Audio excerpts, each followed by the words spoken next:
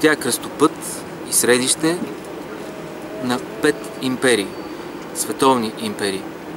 Римската, византийската, българската, османската и съветската. И това е оставя отпечатък в облика както на, на града, така и на хората, които го населяват. И смятам, че тази уникалност, която е навсякъде около нас, под нас, в нас, заслужава да бъде споделена с колкото се може повече хора по света, които обичат изкуството.